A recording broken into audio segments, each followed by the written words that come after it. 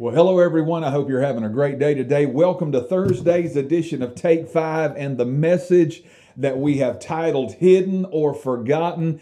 And we are talking about just how important it is to read and study the Word of God and get it in our heart and in our head. It is the most important thing that we can do as a believer in Jesus Christ is to read the Word of God, to study it, so that it changes us and equips us to be the, the believer, to be the witness, to be the evangelist, uh, as it were, that God intends for us to be, because that's exactly what we are as we get the word in us, as we hide it in our life, then it lets the world see Christ through us, and that's what it's really all about. We're taking our text from Psalm 119. We're just going to use verse 11 and verse 16. We actually read all of those, but we don't have the time to read all of those.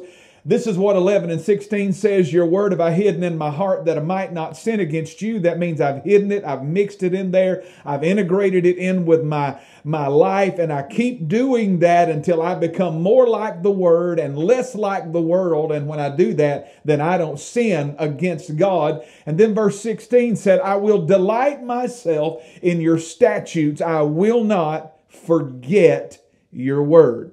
Now that that's very important. Yesterday we, we've already talked about the forgetting part. We've done that.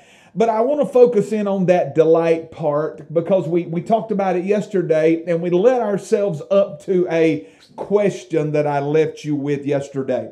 When you look at that phrase, I will delight myself in your word, that, uh, that means that the Word of God is supposed to be our highest form of gratification and joy and pleasure. If it is that, then we've got to ask ourselves the question. Remember, I asked you this yesterday as we were about to close. Why would you not want to read it? If the Word of God is our highest gratification, if it's our, our highest form of joy and pleasure, and when it is, we, we don't forget it when it's something that we really desire, why would we not want to read it if it's our highest form of gratification? Let me give you some facts about the, the Bible that you, you may not know, some facts that in themselves should cause us to want to read the word of God and should cause us to delight in it. 2 Timothy chapter 3 verse 16 says all scripture is given by inspiration of God. Now that in itself is enough. The rest of the verse is powerful, but that in itself is enough. All scripture is given by inspiration of God. That literally means it is God breathed. So the Bible is the very heart, the very mind, the very breath the very thoughts of God. It was spoken by God Himself. The Bible is the most unique book that's ever been written because even though it was recorded by men, it was authored by God. Why in the world would we not want to read a book that was authored by God?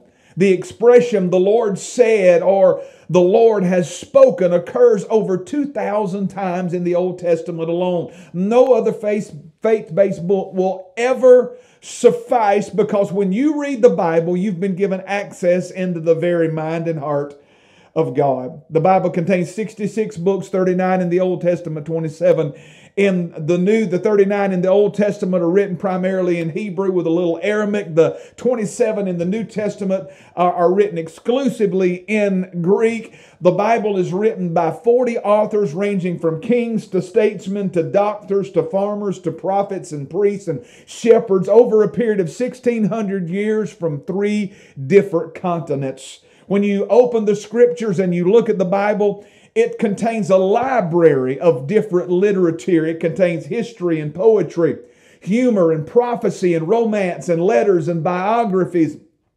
songs and journals, advice, laws, stories. It's a book of history, science, and facts concerning the past, the present, the future, and the eternal future. Why in the world would you not want to read it. Why would we not make a book this powerful our greatest gratification?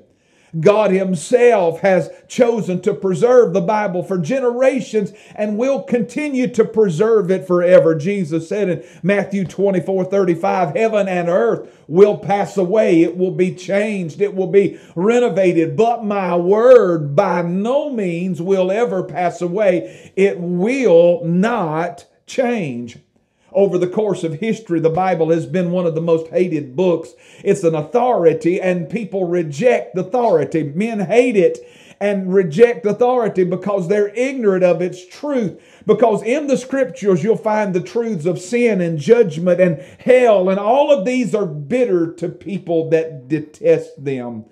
Though it's hated by so many, God has preserved it ever since that has ever been written. Men have tried to outlaw it. They've tried to burn it. They have persecuted and murdered those that promoted the Holy Scriptures. Two quick examples. One, uh, a man by the name of John Wycliffe. He, he was a, a great Bible translator. He was a professor of divinity at Oxford. He's translated the first English Bible and was fired from that school and branded as an instrument of the devil.